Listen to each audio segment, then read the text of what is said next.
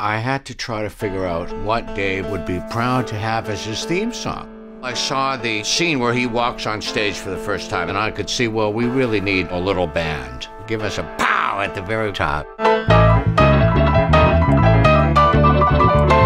Rootsy sound, or the southern sound of Muscle Shoals, we sort of bonded over that Muscle Shoals movie. All these things sort of uh, made a big stew, and out came that music.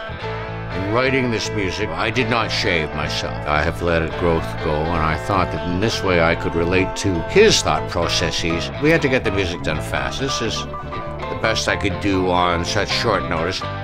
Dave, I've gotten to know where he's at musically for all of these years. Music can be the difference between funny and not funny. The Beatles showed us that. A little bit of a sense of humor can only help. A song has got to be fun to listen to. And so that's why we have to have fun when we make it. I have devoted my life to that nexus of music and comedy.